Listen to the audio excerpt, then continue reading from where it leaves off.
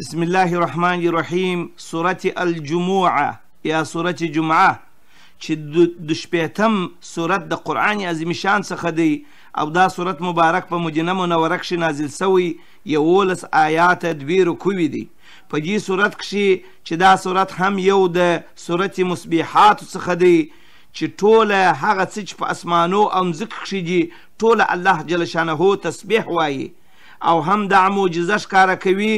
چې امي عربو قوم کښې الله جل شانه داسې پیغمبر پیدا کړی چې امي وو او د ټول جهان رهبر او معلم یې وګرځاوه چې دا هم د رسول اکرم صلی الله علیه وسلم اعجاز دی او د رسول اکرم صلی الله علیه وسلم د مبعوثت کېدو درې مقصدونه دي اول د قرآن لوستل او امت ته اورول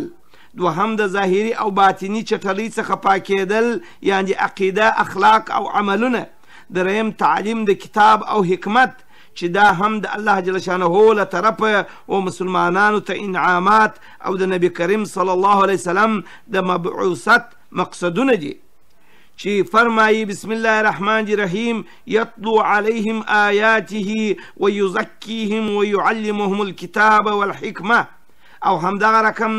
په دې صورت کښې دا بیان دی چې د مرګ ارزو کول هم ښه کار نه دی او همدغه رنګه په دې صورت کښې د جمعې د ورځې چې پخوا ئې نوم یوم العربه بلل کېده پنځه سوه شپېته کاله د نبي کریم صلی الله علیه وسلم تر پیدایښت در مخه د نبي کریم صلی الله علیه وسلم د نیکه ګانو څخه چې کعب بن لوی نومېدی دا ورځ ئې د جمعې د ورځې په نامه وبلل او خلک یې راجمع کړه او خطبه به یې ورته ویل او همدغه نیکه د رسول اکرم صلی الله علیه وسلم د نبی اخر زمان زیری و خلکو ته ورکاوه د یهودو ورځ د رخصتۍ یا د عبادت د شنبې ورځ او د نصاراو دا د یک شنبې ورځ او د مسلمانانو دا د جمعې ورځ ده چې په دې کښې د جمعې د ورځې ډیر بیانات سوي دي صدق الله العلی العظیم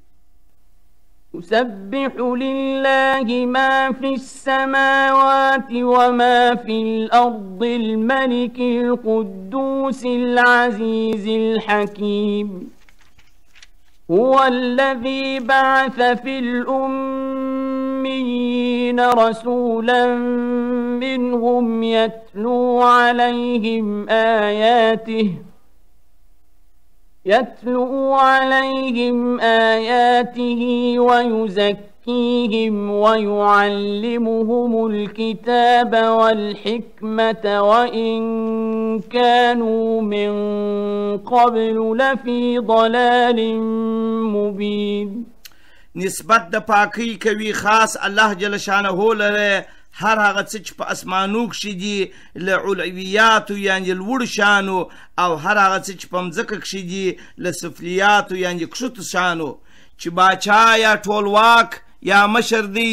ډیر پاک دی له هر عیب ښه غالب او قوي دی ښه حکمت والا دی دغه الله جل شانه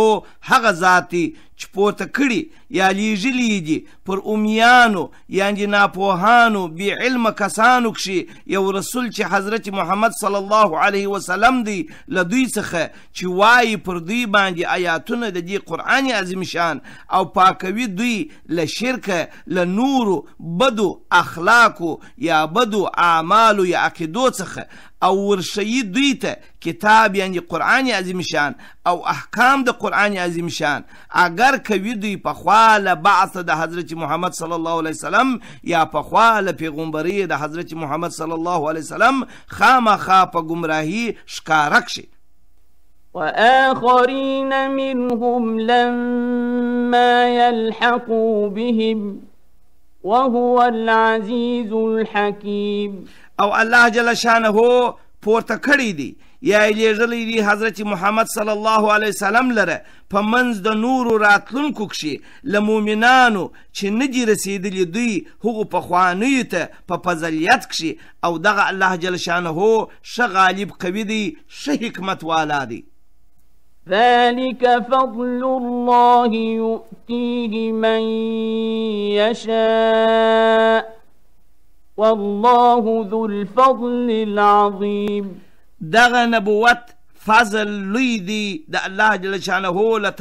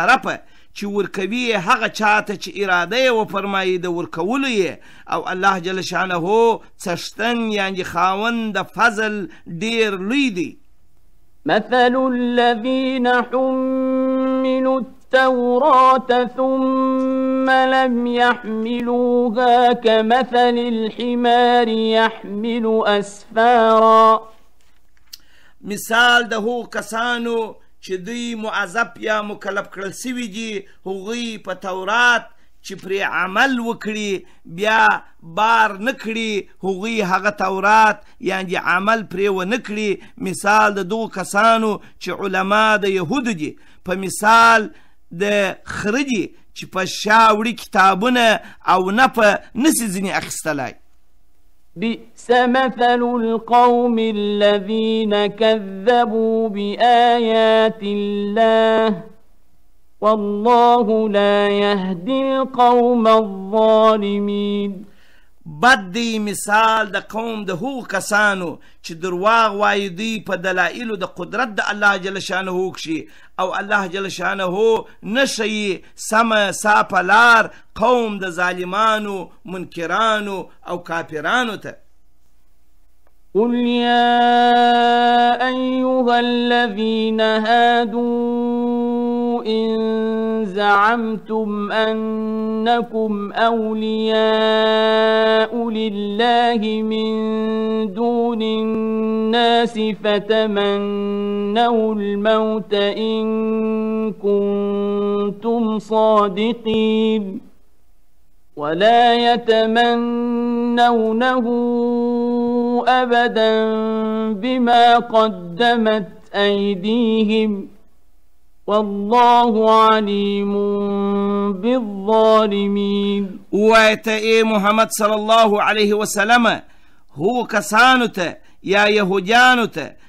چې تاسې چې ګمان یا دعوه کوئ تاسې د دې چې بېشکه تاسې دوستان یاست د الله جل شانه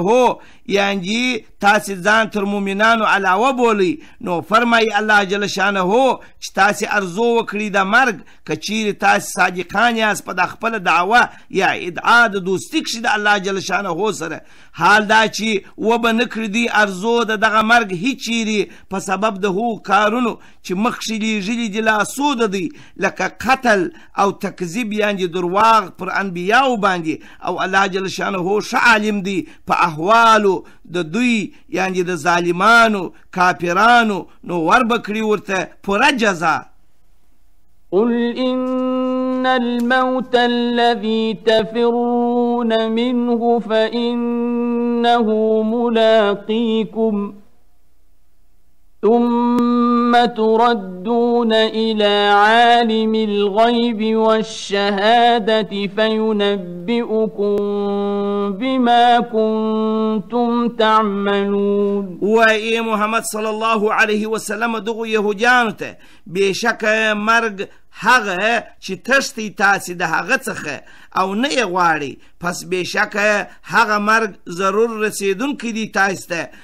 بیا به تاسې ورسئ یا به بوتلل سئ پر لوري د هغه مرګ ښه پوهېدونکي په پټو او ښکارو باندې پس خبر یې کړه تاسې په هغو کارونو باندې چې واس تاسې چې کول به مو په دنیا کښې نو جزا به درته درکړي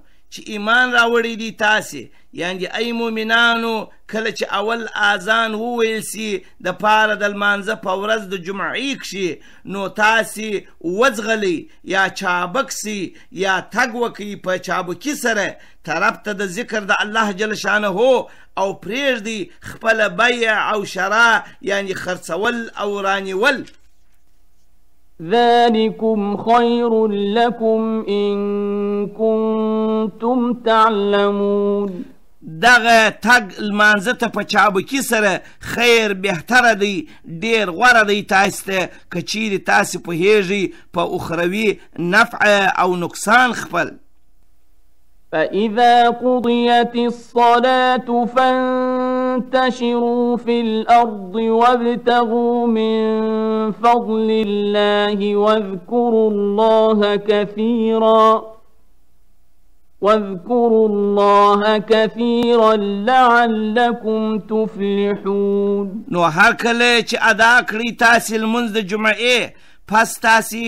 خواره سي یا وپاشل سي یا ولاړ سي تاسو په مځکه کښې و خپلو هغه ضروریاتو یا هغه حاجتونه چې تاسو لري او ولټوي تاسو فضل د الله جل شانه یادوي تاسو الله جل شانه په یادولو ډیرو سره